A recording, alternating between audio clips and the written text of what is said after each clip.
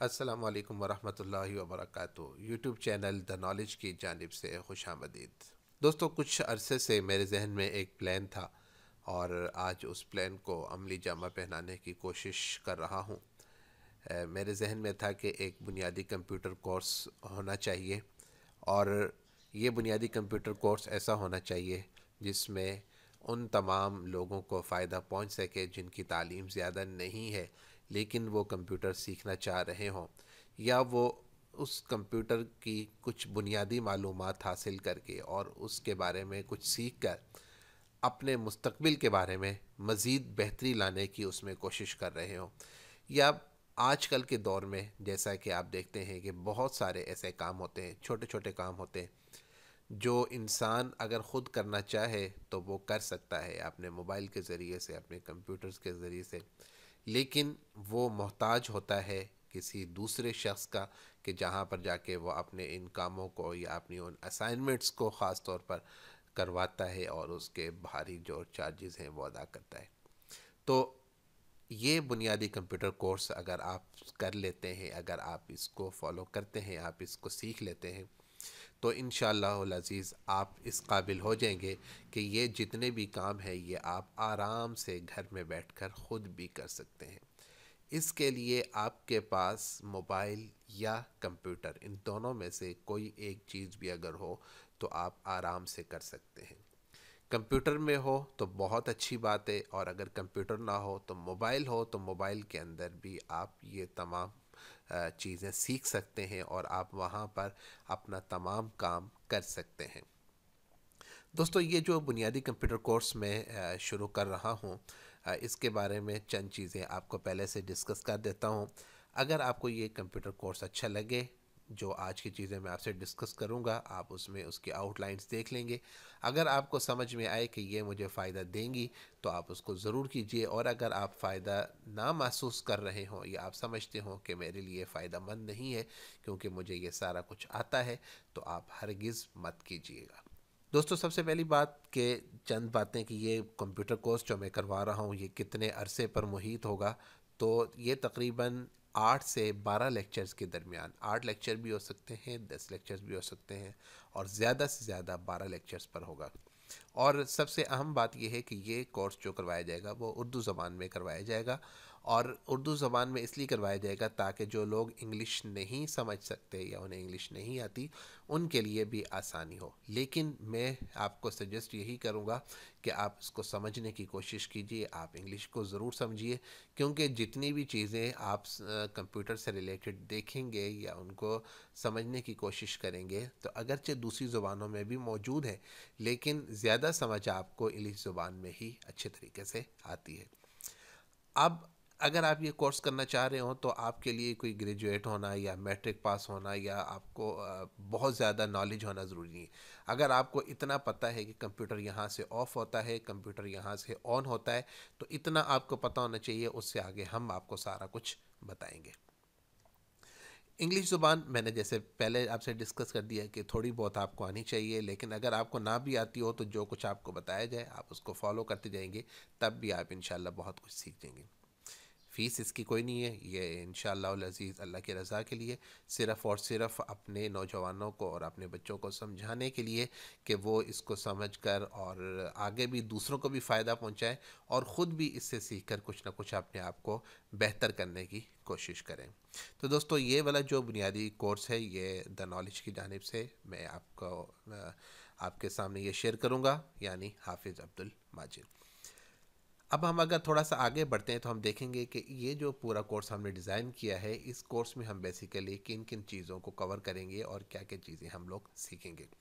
تو سب سے پہلی بات تو یہ ہے کہ ہم کمپیوٹر، چونکہ جیسے میں نے پہلے کہہ دیا کہ یہ ایک بیسک کورس ہے، اس لیے ہم اس کے اندر یہ سیکھیں گے کہ سب سے پہلے کمپیوٹر کے بنیادی اجزاء کون کون سے ہوتے ہیں، کمپیوٹر کی کون کون سی اقسام ہوتی ہیں۔ اس کے بعد عام طور پر آپ نے دیکھا ہوگا کہ جب ہم کمپیوٹر کو آن کرتے ہیں تو اس میں بہت ساری فائلز سامنے آئیکنز بنے ہوتے ہیں۔ پھر جب ہم کسی ایک کو کلک کرتے ہیں، اس کو اوپن کرتے ہیں تو اندر بھی بہت ساری فائلیں پڑی ہوتی ہیں۔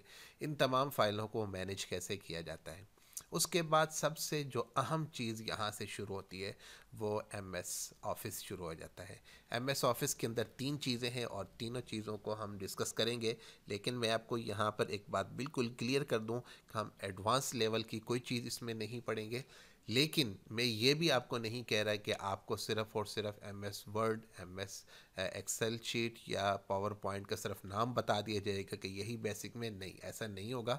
بلکہ اس وقت جو چیزیں میں آپ کے سامنے شیئر کر رہا ہوں، آپ کو جو سکرین نظر آ رہی ہے اور اس پر جو پاور پوائنٹ کی سلائڈ چل رہی ہے، یہ بھی آپ کو اتنی آسانی سے بنانی آ جائے گی کہ آپ حیران ہوں گے کہ اتنے تھوڑے عرصے میں ہم نے یہ ساری چیزیں کتنی آرام سے مینج کر لیں اور سیکھ لیں۔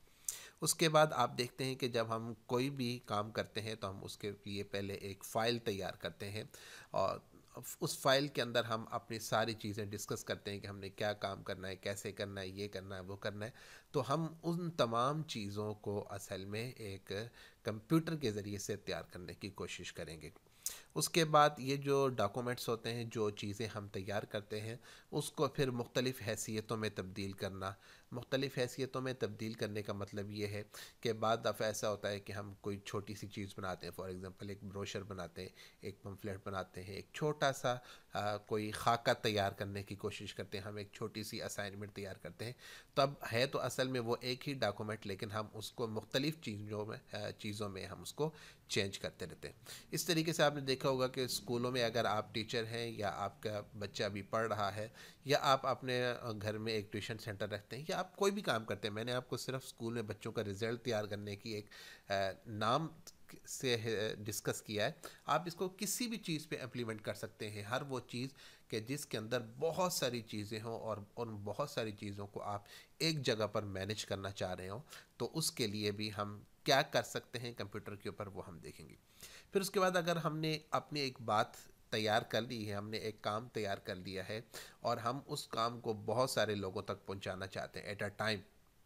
تو جیسے ہم کمپیوٹر میں ایک میسج ٹائپ کرتے ہیں اور اس میسج کے بعد ہم سینڈ ٹو آل کر دیتے ہیں، تو جتنی آپ کے کانٹینٹ لسٹ میں لوگ موجود ہوتے ہیں، ان تمام کو سینڈ ہو جاتا ہے۔ تو ایسے ہی ہم یہاں پر بھی دیکھیں گے کہ ہم ایک ہی کلک سے اپنی جو فائل، اپنے جو ڈاکومنٹس یا اپنے جو کام ہم نے تیار کر رکھا ہوگا، وہ ہم کیسے بہت سارے لوگوں تک پیار کر سکتے ہیں۔ پھر اس کے بعد ہم کیا کرتے ہیں؟ ایک فارمیٹ تیار کرتے ہیں، ایک خاکہ تیار کرتے ہیں اور اس پر مختلف لوگوں کے کام تیار کرتے ہیں۔ مثال کے طور پر آپ نے، جیسے میں نے اسکول کی بات کی ہے کہ فارمیٹ ایک ہی، ایک ایک کلاس ہے۔ اب اس کے اندر، ایک کلاس کے اندر پچاس بچے ہیں۔ پچاس بچوں کے دس سبجیکٹس ہیں، دس مضامین ہیں۔ تو ایک ہی پیج کے اوپر ان تمام لوگوں کے کام کیسے تیار ہوں گے؟ ان تمام بچوں کا رزلٹ ایک منٹ کے اندر اندر ہم کیسے تیار کر سکتے ہیں؟ یہ بھی ہم اس میں سیکھیں گے۔ اس کے بعد ہم دیکھیں گے انٹرنیٹ سے متعلق انٹرنیٹ کیا ہوتا ہے۔ اور انٹرنیٹ صرف نہیں سیکھیں گے، بلکہ انٹرنیٹ اینڈ کمیونیکیشن ایک بہت ہی اہم پارٹ ہے آپ کے کمپیوٹر سے ریلیونٹ اس کے بارے میں بھی ہم تھوڑی بہت ڈسکشن کریں گے۔ اس کے بعد ہم ڈسکس کریں گے M S Excel sheet. Excel sheet جو ہے میں نے آپ کو شروع میں بتایا، ایم ایس ورڈ کا ہی ایم ایس آفس کا ہی ایک ٹول ہے۔ جیسے ایم ایس ورڈ کے بارے میں بات کی، ہم نے ایسے ہی ہم ایم ایس ایکسل شیٹ کے بارے میں بھی بات کریں گے۔ ایکسل شیٹ کو آسان الفاظ میں میں بتا دیتا ہوں کہ ایکسل شیٹ اصل میں عام طور پر گنتی کے جو چیزیں ہوتی ہیں، جو اعداد و شمار ہوتے ہیں، اس بارے میں جو بھی ڈسکشن ہوتی ہے ان تمام ڈسکشنز کو ایک جگہ پر مینج کرنے کے لیے، اکٹھا کرنے کے لیے ہم عام طور پر ایم ایس ایکسل شیٹ کا استعمال کرتے ہیں۔ اس میں مختلف فارمولاز لگتے ہیں اور ان فارمولاز کی مدد سے ایک منٹ کے اندر ہم بہت ساری چیزوں کا حساب کتاب تیار کر لیتے ہیں۔ اس کے بعد ہم عام طور پر دیکھتے ہیں کہ اگر ہم گھر میں رہتے ہیں، کسی یونیورسٹی میں رہتے ہیں، کسی کالج میں رہتے ہیں، کوئی بھی کام کرتے ہیں یا نہیں کرتے کسی دوسرے کے لیے، عام طور پر ہم ایک بجٹ تیار کرتے ہیں۔ چونکہ ہم ایک مڈل فیملی سے تعلق رکھتے ہیں، تو ہم تمام چیزوں کو بہتر انداز سے کرنے کی کوشش کرتے ہیں کہ تھوڑے بجٹ کے اندر زیادہ کام ہو۔ تو اب ہم اپنا بجٹ تیار کیسے کریں؟ بجٹ کے اندر تیاری میں کون کون سی چیزیں امپورٹنٹ ہوتی ہیں؟ یہ بھی ہم اس میں ڈسکس کریں گے۔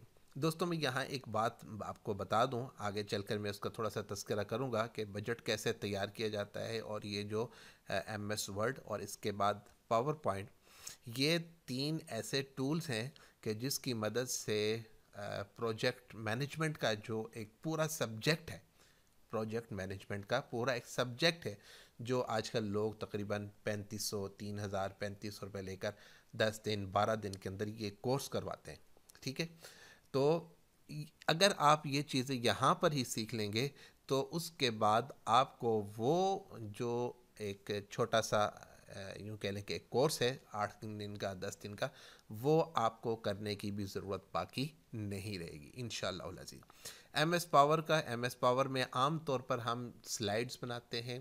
سلائڈس کا مطلب یہ ہے کہ ہم نے جو بھی کام کیا ہوتا ہے، ہم اگر وہ کام کسی دوسرے شخص کو دکھانا چاہیں کہ ہم نے اب تک یہ کام کیا ہے، ہماری یہ کارکردگی ہے، تو ہم اس کام کو ایک بہتر انداز سے، ایک ویڈیو کی شکل میں یا پھر ایک سلائڈ کی شکل میں اس شخص کو اپنا کام اور اپنی کارکردگی دکھا سکتے ہیں۔ اس کے لیے عام طور پر جو ایک ٹول یوز کیا جاتا ہے وہ پاور پوائنٹ کا ہے، جس جس میں ابھی آپ جو سامنے سکرین دیکھ رہے ہیں، یہ سکرین میں جو آپ کو چیزیں نظر آ رہی ہیں، یہ اسی پاور پوائنٹ پر تیار کی گئی ہیں۔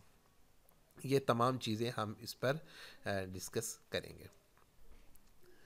تو دوستو، اگر آپ لوگ سیکھنا چاہتے ہوں اور اگر آپ چاہ رہے ہوں کہ یہ کورس ہمارے لیے فائدہ مند ہو سکتا ہے یا آپ بگنر لیول پہ اور آپ چاہتے ہیں کہ ہم تھوڑا سا اس کو اور اچھے طریقے سے سمجھ لیں، تو آپ ہمیں ضرور جوائن کیجیے۔ یہ ہمارا واٹس اپ نمبر ہے، آپ ہمیں کال بھی کر سکتے ہیں، آپ ہم سے انفارمیشن لے بھی سکتے ہیں۔ یوٹیوب چینل لنک بھی ہے جہاں پر یہ ویڈیوز اپلوڈ ہوں گی اور اسی طرح ہمارا نیچے فیس بک لنک بھی آپ کو نظر آ رہا ہے۔ دوستو، اگر آپ یہ کورس کر لیتے ہیں تو انشاءاللہ العزیز جیسے ہی یہ کورس ختم ہوگا، اس کے بعد ہم نیکسٹ پر تین مزید کورس بھی انشاءاللہ العزیز لانچ کریں گے، جس میں میں نے آپ کو پہلے بتایا ایک پروجیکٹ مینجمنٹ ہے۔ پروجیکٹ مینجمنٹ کو میں نے سب سے پہلے اس لیے رکھا کہ آپ جیسے ہی یہ کورس کریں گے، آپ کو بہت ساری باتیں ایسی سمجھ میں آ چکی ہوں گی جو آپ ان تین ٹولز میں سیکھ چکے ہوں گے۔ اب اس کے بعد ہم صرف اور صرف جو ایک پارٹ رہ جائے گا مینجمنٹ ہم اس کے اوپر تھوڑی سی بات کریں گے اور اسی کے ساتھ اس کو کنٹینیو کر لیں گے۔ اس کے بعد موبائل گرافک ڈیزائننگ اور کمپیوٹر گرافک ڈیزائننگ اس کے علاوہ دو تین کورسز اور بھی ہیں انشاءاللہ العزیز، جو بہت جلد آپ کے سامنے پیش کیے جائیں گے۔ تو دوستو، اگر آپ اس میں انٹرسٹڈ ہوں تو آپ ہمارے یوٹیوب چینل دا نالج کو آپ سبسکرائب کیجیے اور ساتھ لگے ہوئے بیل کے کو ضرور پریس کر دیجیے تاکہ آپ کو جو بھی نیکسٹ ویڈیو اس کے بعد آئے گی، وہ آپ کو فوری طور پر مل سکے۔